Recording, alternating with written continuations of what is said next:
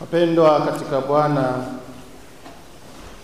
leo kama tulivyosema katika tangulizi,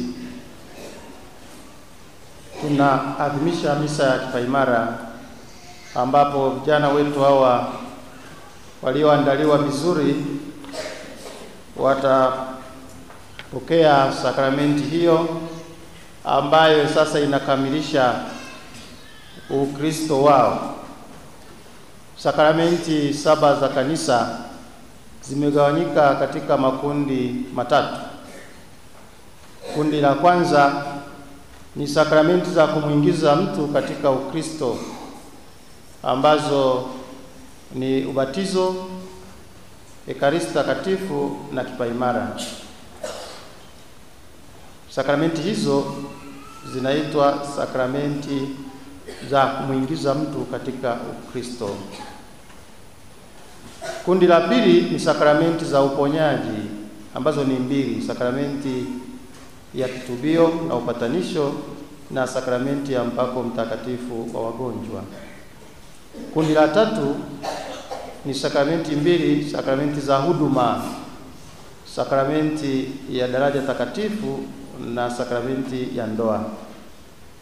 Sasa leo tunaadhimisha sakramenti mojawapo ambayo kwa hawa sasa ni sakramenti inayowafanya wawe Wakristo kamili, abakristu abayikire, Wakristo kamili, kwa sababu hawa vijana wamebatizwa tayari, wamepata komunio takatifu, sakramenti ya Ekaristi, na leo sasa wanakamilika kwa kupokea sakramenti ya kipaimara.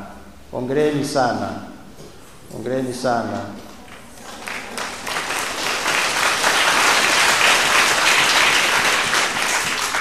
Leo hii mnakuwa Wakristo kamili kwa sababu tunaamini kwamba e, kwa umri wenu na kwa maandalizi yaliyofanyika mko tayari kuipigania imani yenu, mko tayari kuishi imani yenu, au sio? Mnavyojibu hivi, au sio? Hebu simama kwanza, wale wa kipaimara msimame. Ninyi leo mnafanywa kwa Wakristo kamili, ndiyo sio? Ndio. Mnafanywa kuwa maaskari wa Kristo, ndiyo sio?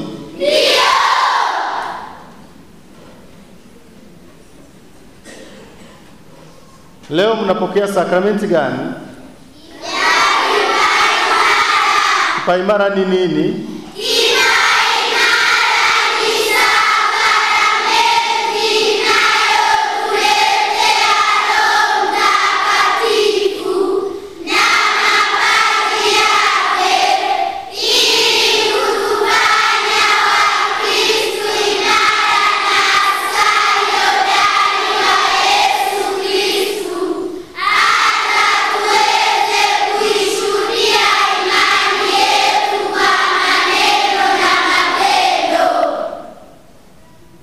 Hongereni sana, jipongeze sasa, naona mko vizuri.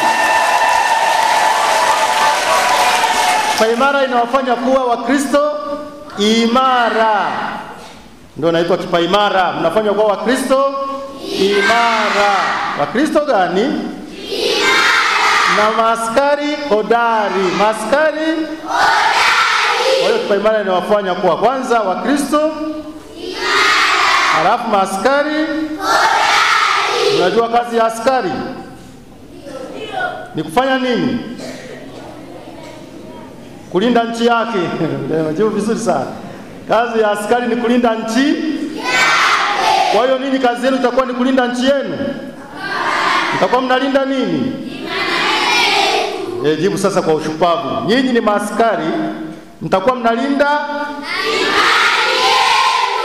Mtakuwa mnalinda imani imani yenu, imani yetu, tutakuwa tunalinda imani yetu. Lakini kumbuka, mnapotoka hapa, kila mtu anaenda peke yake. Kwa hiyo utakuwa askari shupavu hodari wa kulinda imani yetu. Sema imani yangu, imani yangu. Utalinda imani yangu yangu. Sasa imani yako utailindaje? Kwa kula sana? Unalinda imani yako kwa kula sana? Utailindaje? Kwa kusali. Rudia, kwa ku... kwa kusali. Tena ongeza na sana kwa kwa kusali sana.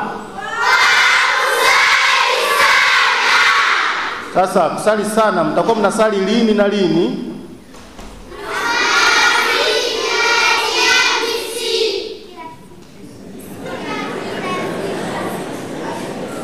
Sema Jumapili na Alhamisi.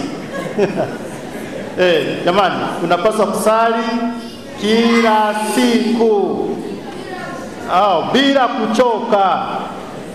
Wengine wanajibu vyema kabisa, nasali kila siku bila nasali kila siku bila kuchoka.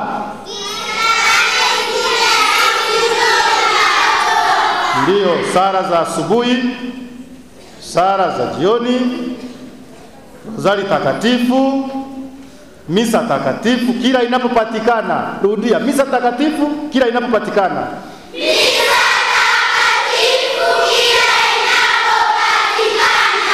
Kwa uhakika kabisa kila Jumapili.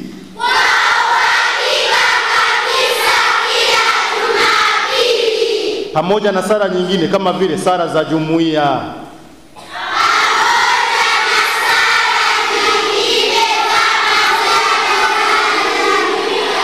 Nini jumuiya yenu mnasali siku gani? Jumamosi Jumamosi asubuhi mnakwenda kusali na wazazi wenu. Mnakwenda kufanyaje? Na wazazi wenu, msiwaache na wasiwaache. Sawa sawa. Ndio. Jumamosi sio siku ya shule. Rudia, ni siku ya kusali kwanza jumuiani.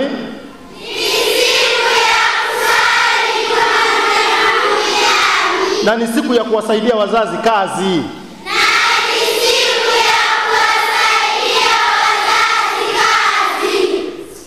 Eh, Jumamosi mnafanya nini kwanza? Halafu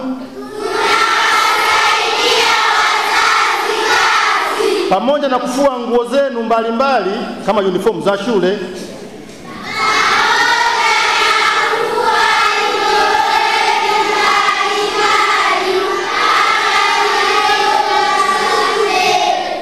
na Jumapili ni siku ya Bwana.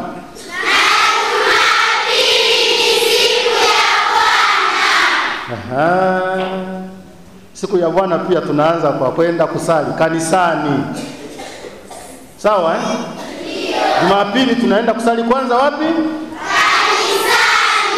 Eh, baadaye tunapumzika na nini, kuwatembelea ndugu na jamaa, kuwajulia hali na kadhalika, kuwatembelea majirani eh, hapo hapo unakuwa unaandaandaa Jumatatu kwenda shule, sawa sawa. Sasa mnapopata kipaimara, ndugu zangu, ili mwezi kusali sana na mengine mazuri eh? Tumesisitiza kusali sana, si ndio? Kuilinda imani mmesema kwa kufanya nini? Kwa kusali sana, lakini na kwa kutenda matendo mengine mema. Na kutenda matendo mengine mema, matendo mengine hayo matendo mema tumeyasikia katika somo la kwanza na yamerudiwa katika Injili eh? Nabii Isaya alishayaagua kwamba Kristo huyu atapakwa mafuta matakatifu kwa ajili ya kuleta habari njema kwa watu eh, kuwafungua macho vipofu, kuwafanya bubu waseme, kuwaweka huru waliofungwa eh, na kadhalika na kadhalika na kadhalika. Hayo ndiyo matendo mema eh, kuwasaidia wahitaji. Rudia, kuwasaidia wahitaji, matendo mema ndiyo mwana kipaimara anatakiwa kuyafanya. Namna gani? Mmejifunza kuhusu Roho Mtakatifu, si ndio? Na mapaji yake Mangapi? Mapaji ya Roho Mtakatifu ni mangapi? Naweza mkayataja? Ndio. Yataje.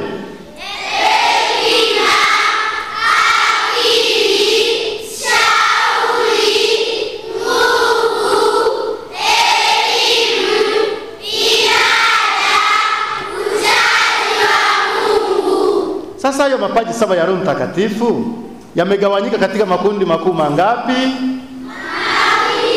Mangapi? Ehe, ni yapi?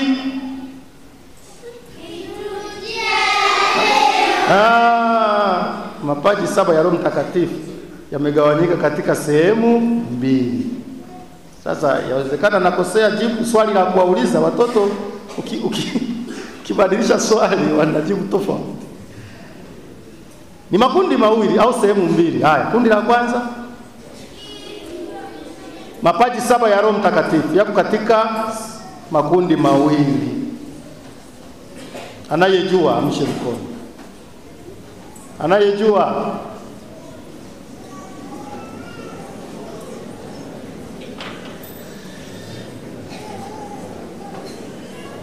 Hamtaki zawadi eh? E, atakayepata nampa zawadi. Nimesema uamshe mkono. Haya, huyo ndio ujibu. Andaa maiki hapo. Mapaji saba ya Roho Mtakatifu yamegawanyika katika makundi mawili. Wakishindwa, katekista alikuwa anafundisha, anapaswa wajibu au wazazi. Wazazi mjiandae. Haya, Mapaji ya Roho Mtakatifu yamegawanyika katika sehemu kuu mbili. La kwanza ni mapaji ambayo yanafanya Mkristo kuwa Mkristo kamili. La pili yanafanya kuwa Mkristo mfanyaji. walau umejitahidi kuja mbele kujibu. Wewe ni askari shupavu kweli. Askari anayekwenda vitani si kwamba lazima apone, anaweza akafa huko huko, lakini amekuwa jasiri wa kwenda vitani. Eh, akifa kule si kwamba yeye sio jasiri, ujasiri umempeleka mbele kabisa. Asante, tunashukuru. Mwingine wa kujaribu. Haya, njoo njoo njoo njoo. Eh, tunahitaji mwanafunzi mzuri na eh, mzuri ni yule anayejaribu hata kama unajua kwa kiaya unaweza ukajibu kwa kiaya egabo mshaza mtakatifu ziliangaa ehe Ndio, angaliko eh, rudia sasa kwa kwa kujiamini. Aliye gabo ziri ehe. Afisa agandi aga kisi tugambe gabo za mtakatifu. Ziri abili ehe. Mpigie makofi kwanza mpaka hapo.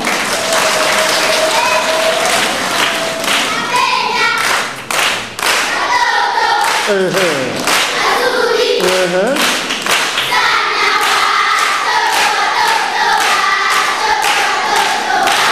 Sasa nyie sio watoto bwana, nyinyi kipaimara huwezi kuwa mtoto, ninyi ni maaskari shupavu bwana. Ongera sana. Sasa sikiliza, kama mlikuwa mtajifunza, ndio leo mtoke hapa mnajua, na ndio maana ya kipaimara. Mapaji saba ya Roho Mtakatifu, hiyo ndio zawadi yangu eh? Umeipata eh? Makofi haya. Ma- yamegawanyika katika sehemu kuu mbili. Kuna mapaji manne yanayoimarisha akili. egabo eina eziri kuwamisa amagezi egabo ishatu nziyamisa obweyendezi kuna mapaji ya Roho Mtakatifu manne yanayoimarisha akili, alafu tatu zinazobaki zina zinaimarisha utashi. Kwa sababu gani? Kwa sababu gani? Kipaimara leo mna kazi, kwa sababu mpaka tuwaweke mikono, mnapaswa kuwa mmefuzu kweli. Mlifanya mtihani wa awali, sasa mnafanya mtihani wa taifa sasa hivi. Sasa mmepata mmoja amewakomboa, huyo hapo. Unaitwa mkombozi au mrokozi?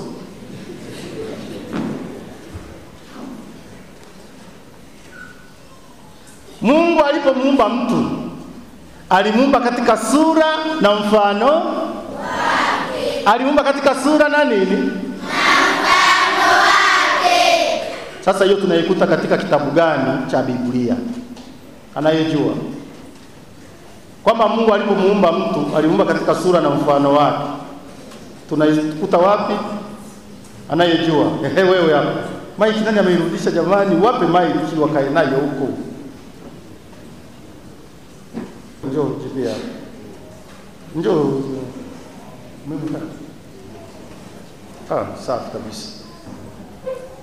Katika kitabu cha Mwanzo Makofi. Ehe. Ehe. Wa, basi nyinyi ya watoto hiyo mimi sitaki. Nyinyi watoto. Kitabu cha Mwanzo sura ya ngapi? ya kwanza hadi ya ishirini na sita Sura ya kwanza mstari wa ishirini na sita sura ya kwanza mstari wa ishirini na sita eh, na kuendelea. Sawa? Makofi tena, makofi matatu. Kwa kwa kwa, basi inatosha. Kat- Katika kitabu mumuone huyo kama mrokozi huyo hapa, mkombozi, mchunguzi huyo hapa. Kitabu cha Mwanzo sura ya kwanza, Mungu anasema eh, na tumfanye mtu katika sura na mfano. Sura na mfano wa Mungu, ndugu zangu, ni kwamba alituumba akatupatia akili na utashi, akatua magezi yatua nobweyendezi. Ndiyo sura na mfano wa nani? Ndiyo sura na mfano wa nani? Wazazi, naomba mjibu. Ndiyo sura na mfano wa nani? Msije mkafikiri nafundisha watoto tu, nafundisha kila mmoja. Ndio maana sisi tunapozaliwa, tunapoumbwa, tunapozaliwa mpaka hawa vijana walipokuwa wamefikia hapa, wana akili na wana utashi wao, ila sasa hii akili yao na utashi wao bado viko legelege, ni legelege, ni tepetepe, ni habahaba. Sasa leo kwa nguvu ya Roho Mtakatifu anapowamiminia mapaji saba anaimarisha, anawaimarisha, anawaimarisha katika nini? Anawaimarisha katika akili hiyo, na anawaimarisha katika utashi wao. Na hayo mapaji manne yanayoimarisha akili. Sasa hapo sitawauliza ni yapi, kwa sababu kama mkujua ni yapi. Mapaji manne yanayoimarisha akili, paji la kwanza ni hiyo hiyo akili kwanza, kwa sababu akili ni paji mojawapo na mapaji saba ya Roho Takatifu akili, shauri jema, elimu na hekima. Twende pamoja. Mapaji manne yanayoimarisha akili ni yapi? Akili, rudia. Akili. Shauri jema. Shauri jema. Elimu. Elimu. Na hekima. Na hekima. Amagezi Amagezi. entegekanungi obumanyi Obumanyi. nokushobokerwa Nokushobokerwa. Ayo mapaji manne hayo ndio ukiyapata im, akili yako inaimarika. Akili inapoimarika unaitumia sasa akili yako kwanza kabisa kumjua mungu. Mungu akatutonderaki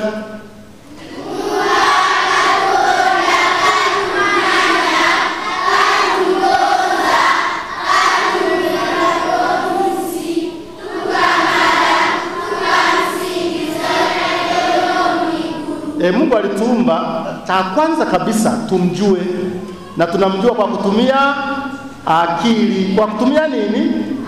Akili. Ndio maana unapoimarisha akili yetu, kwanza kabisa tuitumie hiyo akili kumjua, kumjua Mungu. Ukimjua Mungu sasa, unaamua kumfuata, kumpenda, kumtii au unaamua kuachana naye. Ndio maana una utashi. Mwenyezi Mungu akulazimishi, una utashi oinoboyendesi. Ukishamjua Mungu sasa unaamua kumfuata au kutomfuata, kumpenda au kutompenda, kumtii au kutomtii. Lakini ujue ukimjua halafu ukampenda ukamtii, matokeo yake ni nini? Utaishi naye milele wapi? Mbinguni. Utaishi naye milele wapi?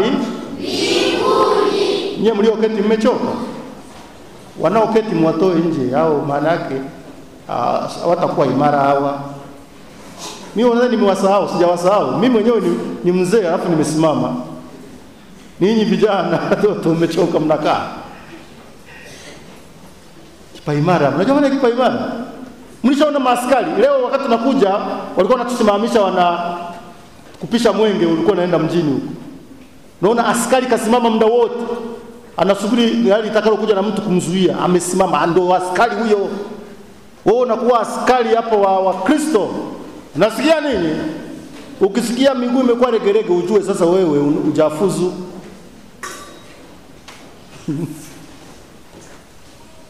Usipoweza kustahimili kusimama dakika chache hizi, tuna wasiwasi kama utasimama kwenye Ukristo wako.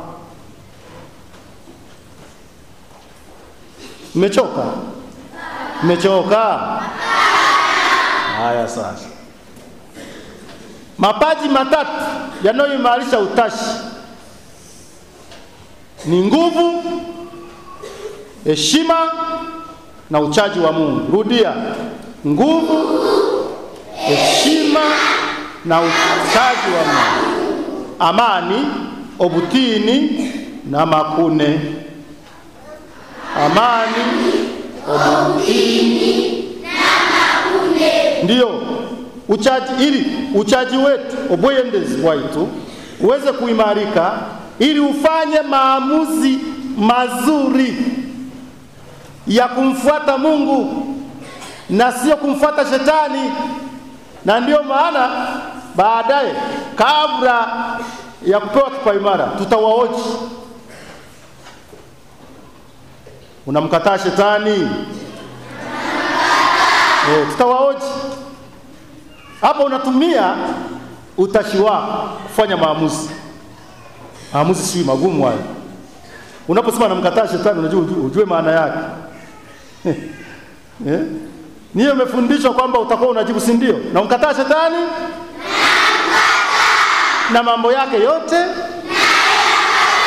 na ila zake zote. Sasa mnaelewa maana yake? Kumkataa shetani maana yake nini? Shetani utakutana naye wapi? Gulioni? Wapi? Jikoni? Utakutana naye wapi? Shuleni? Sasa haya, utakutana naye wapi? Motoni? Ukishafika motoni haurudi. Lazima ujue sasa, katekista akufika katika hatua ya kukwambia shetani ni nani na utakutana naye wapi. Sasa mnaposema namkataa shetani, lazima mjue huyo shetani unaweza kumkataa maana yake nini, na mpaka unamkataa utakutana naye wapi? Hebu kaa kwanza, maana naona wengine nianza kujikuna. Kaa kwanza, mpumue sio kaanguka hapo. Hii siku hizi watoto hawana nguvu wanalelewa kwa mandazi na, na chupa za uji. Mtoto aliyenyonya maziwa ya mama kwa miaka miwili hawezi kusimama akachoka haraka. Siku hizi wa, wazazi, baadhi ya wazazi wanawategea watoto wao, anamtegeshea lichupa la uji pale, yeye anaenda kazini. Matokeo yake wana, wanashindwa kusimama hata kuvumilia kwa masaa machache. Kwa hiyo lazima tuweke nguvu ya ziada. Aliyenyonya kwa miaka miwili amshe mikono. Kama ulinyonya kabla ya kuachishwa ziwa na la mama miaka miwili, amsha mikono. Na watoto wa kipaimara tu, kama ulinyonya miaka miwili, amsha mkono. Haya, walionyonya miezi sita tu, amsha mikono. Basi nilikuwa na, nataka wapumue kwanza.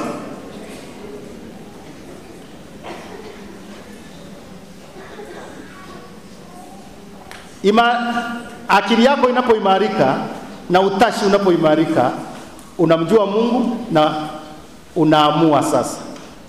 Ukiwa na mapaji ya Roho Mtakatifu saba, tunategemea maamuzi yako ya ufuasi yatakuwa ni maamuzi mazuri, maamuzi ya kimungu, maamuzi ya busara, maamuzi kwa sababu umeshajua jema na baya unaamua kulifuata jema na kuliacha baya.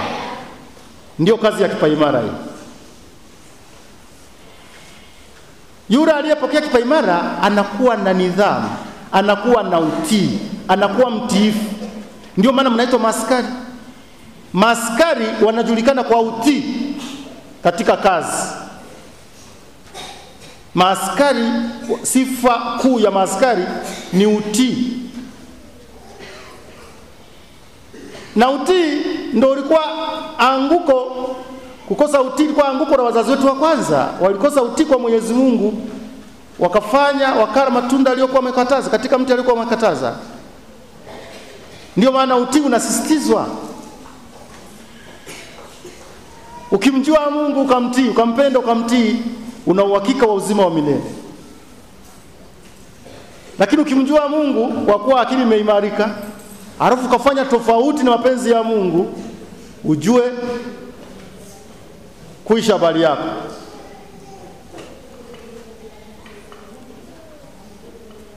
Ukimjua Mungu usifanye mapenzi yake, ujue kuisha habari yako. Na ndio maana katika sala za asubuhi kuna sala mmoja huwa tunaisali, wale mnaosali sala za asubuhi, nataka nione kama nshamba huwa mnasali sala za asubuhi, ndio munsomu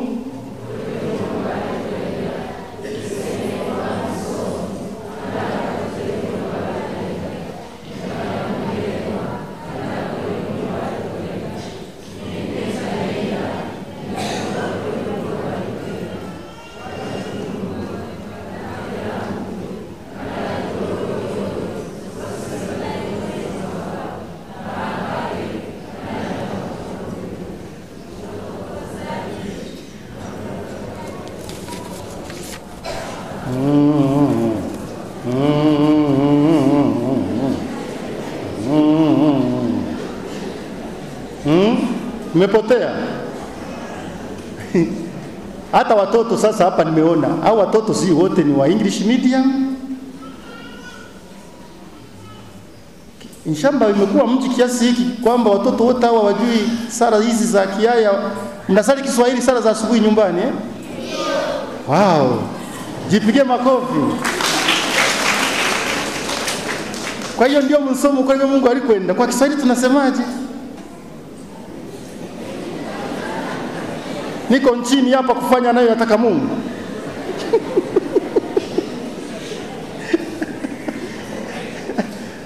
Eh, inawezekana maendeleo siku hizi wala Eh, inawezekana hapa ni wasukuma watu. Siku hizi watu ni Kiswahili tu. Hiyo sala hiyo ndio maana tunaisali asubuhi kwamba hauwezi kufanya chochote bila neema ya Mungu. Na hapa duniani tupo kufanya mapenzi ya Mungu, hatupo kufanya mambo yetu. Mungu pekee ndiye anayeyaongoza maisha yetu. Ukiachana naye, kila kitu kwako kitakuwa ni batili.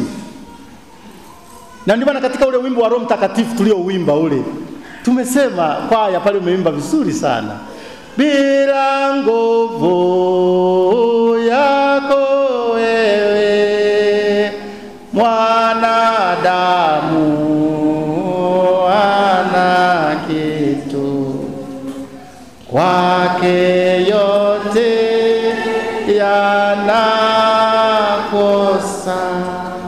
Bila neema ya Mungu ndio ndio munsomu ukore byo Mungu alikwenda. Tinsaine kuba munsomu kandi abatakoze byo Mungu alikwenda. Nyende ntayenda nindagiwa ukore byo Mungu alikwenda. Eh tumapene ndagira ro eh mu mwezi bawe bankake tina ukora karungi na kamo ntaina neema yao. Bila nguvu yako wewe bila nguvu ya Roho Mtakatifu mwanadamu hana kitu. Bila nguvu ya Roho Mtakatifu ninyi hamna kitu na ndivyo na leo mnapata zawadi kubwa sana kutoka kwa Mungu, ili yote mnayoyafanya yawe na maana, yawe na tiki mbele ya Mungu, kwa sababu Roho Mtakatifu atawawezesha, atawawezesha kutenda mema.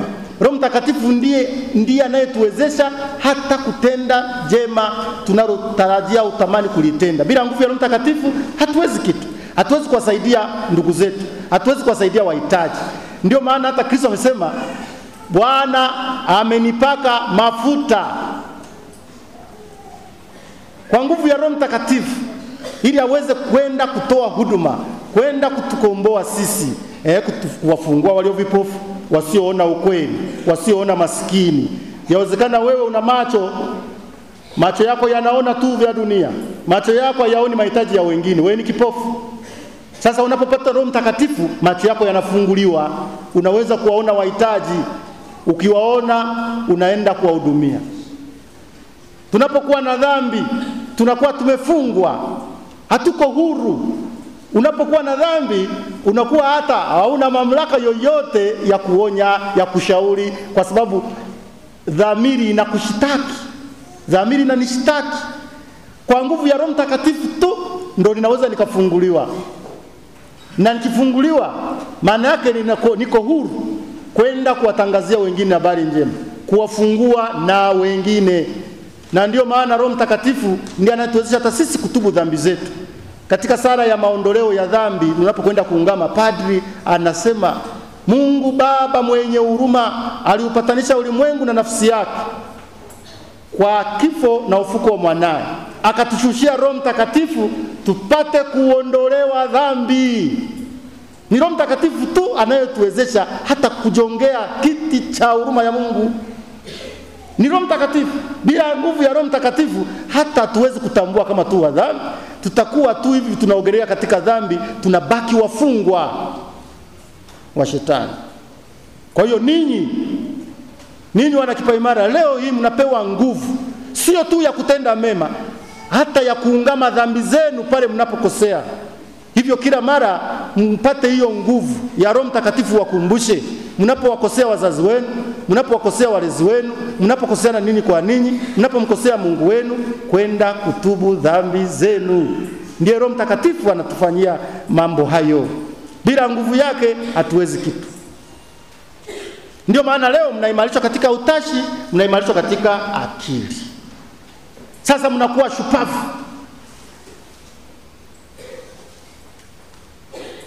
Sasa mnakuwa watendaji, wapelekaji wa habari njema. Ninyi sasa sio watoto walele mama, watoto wa kujirizaliza, mama pipi, mama keki, mama yanshuna.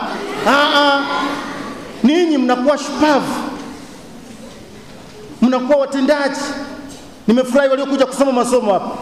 Unasema mimi nasoma somo, unapata nguvu, ujasiri wa kutangaza habari njema, sio tu kwa kusoma masomo kanisani, bali kwa kutenda matendo yanayoonekana kule nje, kusaidia wengine kazi, wazazi wenu eh?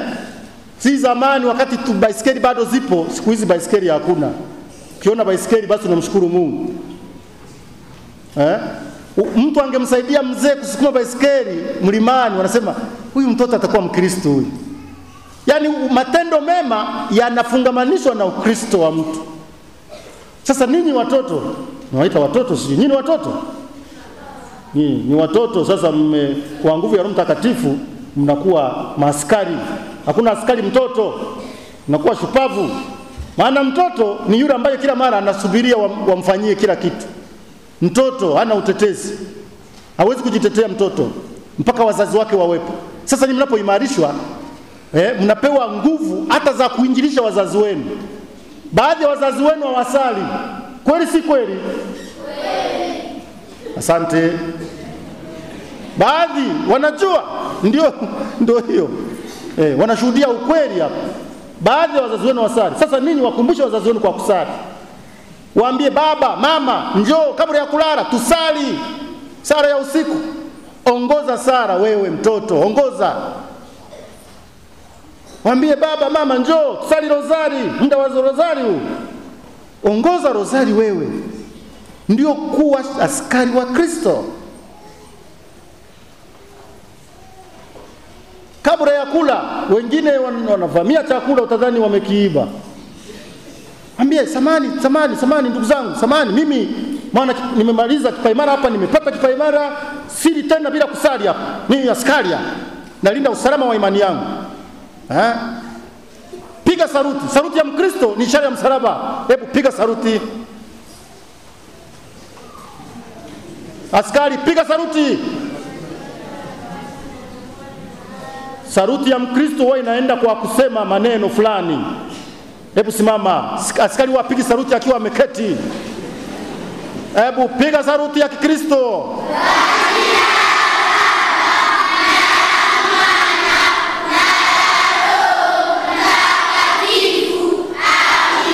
Askari afande, piga saruti ya Kikristo.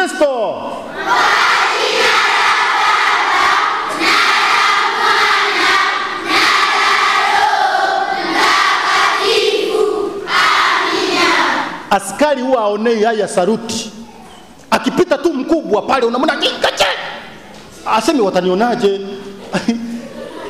Mkubwa wake bosi wake akipita tayari askari anafanyaje? Huwa aoni haya. Sisi bosi wetu ni nani? Eh, rudia watoto wazuri, bosi wetu ni nani? Bosi wetu ni nani? Basi Mungu asingire nka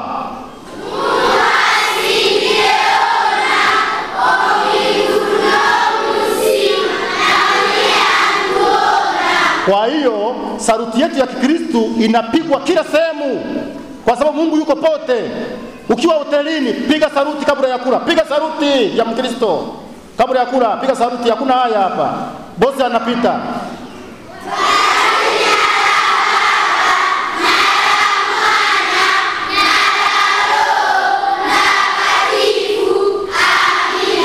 Baada ya kupiga hiyo saruti, sasa hapo unaendelea na shughuli zinazofuata. Kama ni kula, unakula. Yes, kuna nasara inayofuata hapo nyingine. yeah. Sasa hii saruti inapigwaga mbele ya Mungu, kwa sababu sala zetu zozote tunazozipeleka kwa Mungu huwa zinaanza na saruti. Ndio maana hata leo kabla ya misa tumeanza kwa kumpigia Mungu saruti. Hey! Kwa jina la Baba na la Mwana na la Roho Mtakatifu. Amen. Wewe unawakumbusha wazazi, wazazi, kabla ya kula tunapiga saluti kwa Mungu.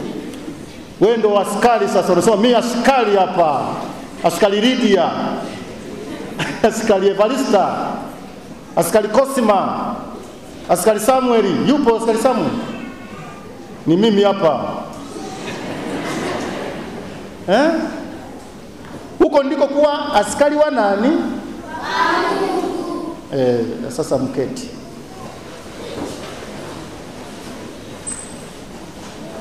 Dunia ya sasa watoto, dunia ya sasa, dunia ya leo, dunia ya leo inatutaka sisi watoto tuwe makini. Dunia ya leo inatutaka nini?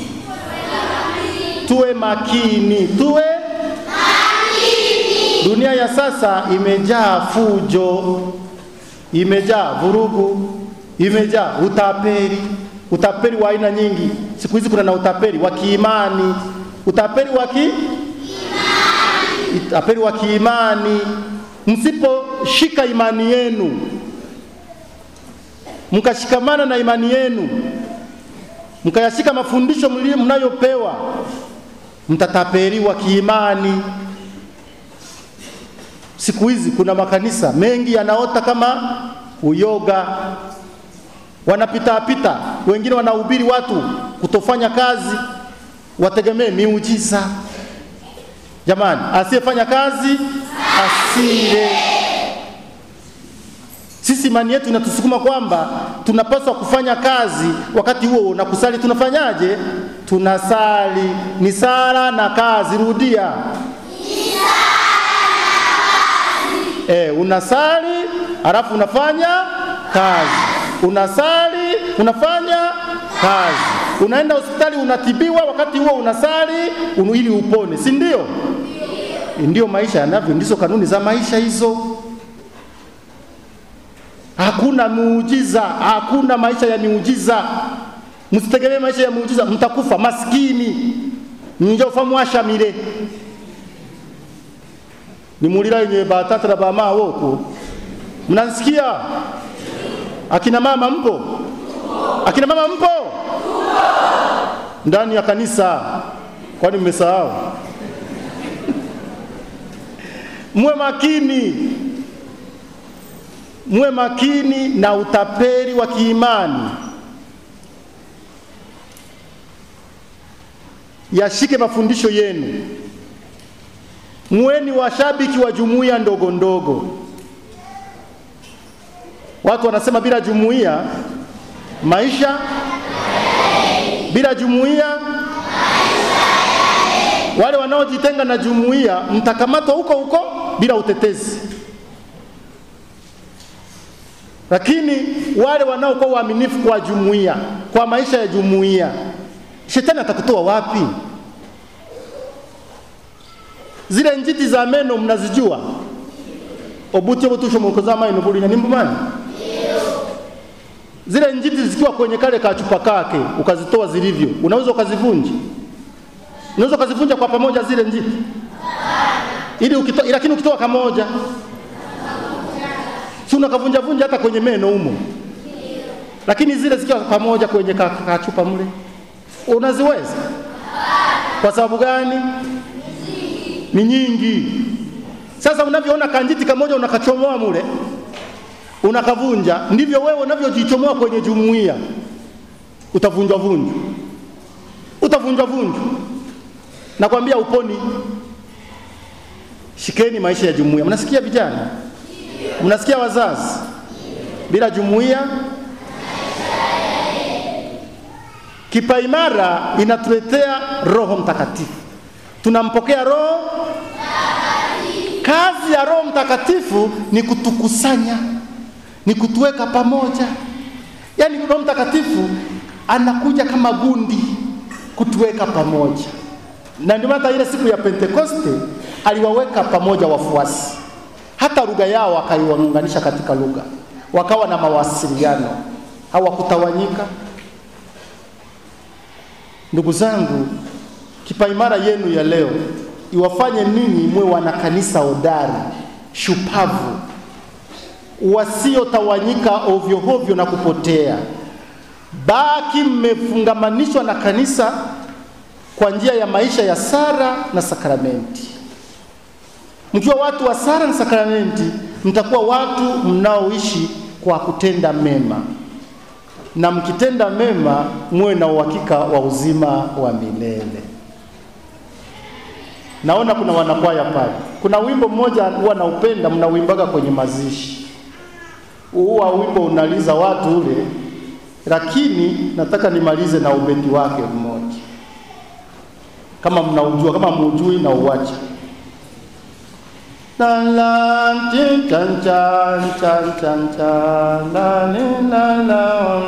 mm, mm. Wa wimbo mnaujua? Sasa imba ule wimbo, si ni ubeti wa mwisho si eh, kile ki kimfafanuacho mtu mbele ya Mungu.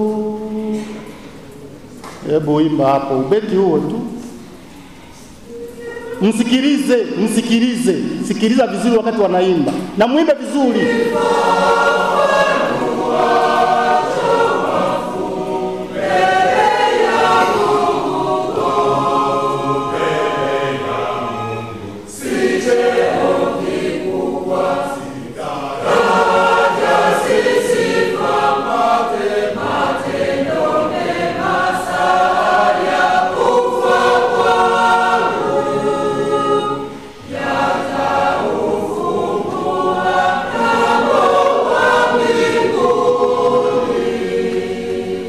Maneno mnayasikia uzito wake?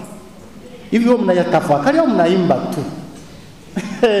Sasa twende polepole, hebu twende polepole, twende polepole.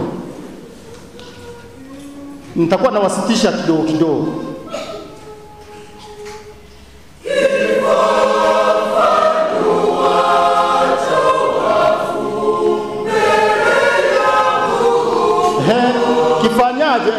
Hapo hapo kifafanuacho akina nani? Wafu, si ndio? Yaani mtu anapokufa kile kinachomfafanua mbele ya nani? Mbele ya Mungu. Ehe, ehe.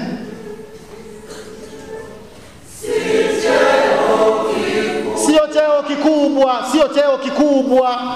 Usije ukaji kwa sababu wewe nifika general ukasema mimi mbele ya Mungu nikifa nita cheo changu kitanifafanua. Cheo kwa kuwa mimi ndiye baba wa nyumba, mimi ndiye baba wa nyumba, cheo kikubwa. ndiyo kitanifafanua nikifa mbele ya Mungu. cheo cheo tu, cheo. Mimi ndiye diwani, diwani, cheo tu, diwani mbele ya Mungu nikifa, kuwa diwani tu tu. Aha. Eh, Mbunge, mimi kwa mbunge tu, cheo kikubwa.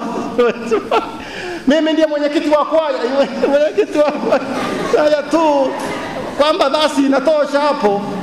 Ehe, tuendelee, sio cheo kikubwa ehe.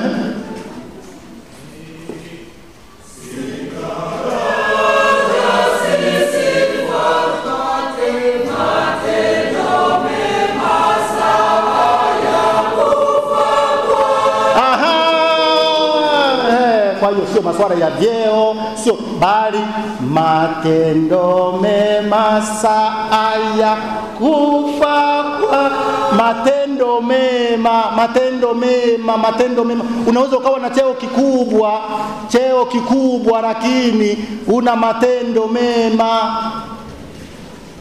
Mtofautishe, tutofautishe cheo na matendo mema matendo mema, tena sio matendo mema ya msimu. Kuna watu wana matendo mema ya msimu.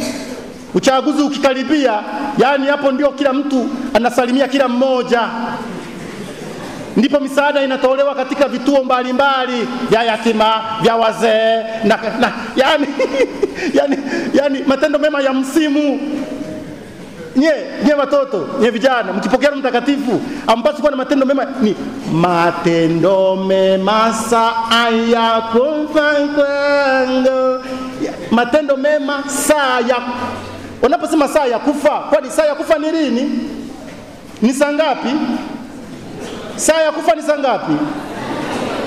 Ni saa yoyote. Kwa hiyo matendo mema wakati wowote kwa sababu tujui tutakufa lini ndio maana yake hayo matendo mema tena wanasema matendo mema saa ya kufa ndio yatakayo kwa sababu wanasema hivi akija leo akija sasa hivi atanikutaje Nasema ah, si anajua juzi nilivyowasaidia watu. Si anajua juzi nilisali. Jumapili zilizopita silikuwa na sali. Umesali leo? Akija Jumapili ya leo akakukuta kwenye pombe. Matendo mema saa ya kufa kwangu yatafanyaje? Mm, malizia, hamjamaliza.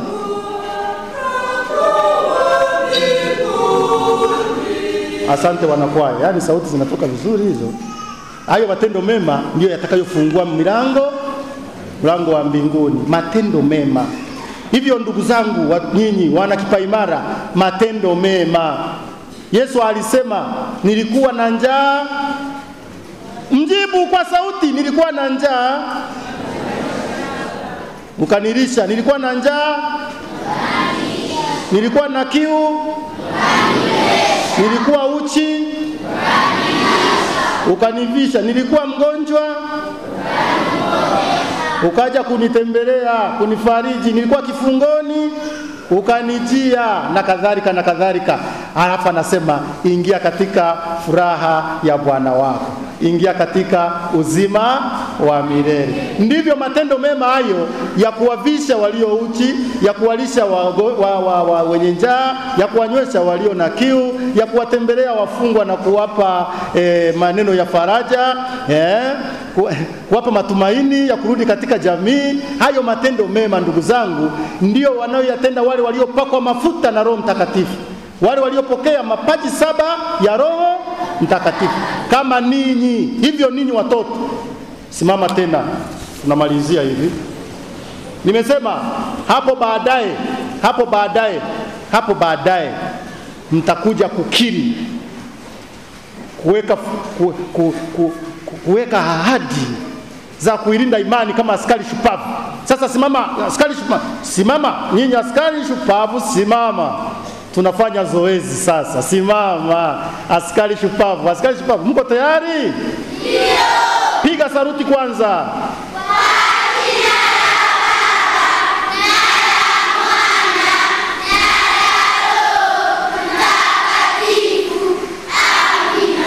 Sasa mimi nitawaoji. Sasa hivi nawaoji, sio ile ile bado ile rasmi ya kipaimara. Hii nawaoji, tunafanya mazoezi ili mjue kumkataa shetani maana yake nini. Mwamkataa shetani? Ukijibu unajibu kwa nafsi yako, unasema namkataa. Mwamkataa shetani na mambo yake yote na ila zake zote na mitego yake yote na tabia zake mbaya za uchoyo, omururu, eisitu na dharau. Mwamkataa shetani na tabia yake ya kudharau wakubwa.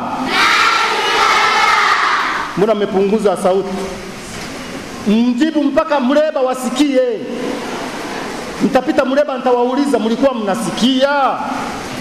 Mwamkataa shetani na tabia yake mbaya ya kuwadharau walimu. Mwamkataa shetani na tabia zake mbaya za kutazamia mitihani. Mwamkataa shetani na tabia zake mbaya za kuchelewa au kukosa misa Jumapili. Mwamkataa shetani na tabia zake mbaya za kupuuzia na kukosa misa Jumapili na kwenda kutafuta senene. Mwamkataa shetani na tabia zake mbaya za kuacha misa Jumapili eti kwa sababu ya mvua. Mwamkataa shetani na tabia zake mbaya za kuchangamkia vyama vya, na vikundi vya ujima na kupuuzia mikutano ya jumuiya ndogo ndogo. Mwamkataa shetani na tabia zake mbaya za kuchangamkia michango ya harusi na omjuguro na kukwepa michango ya kutegemeza kanisa.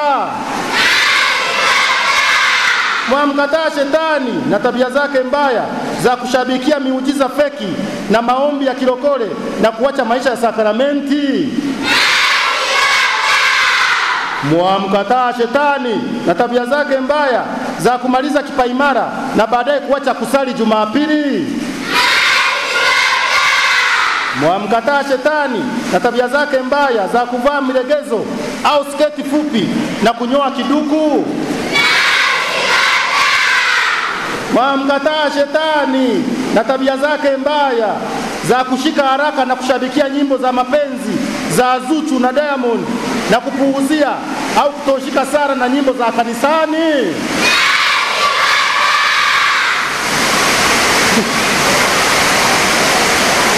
Mwamkataa shetani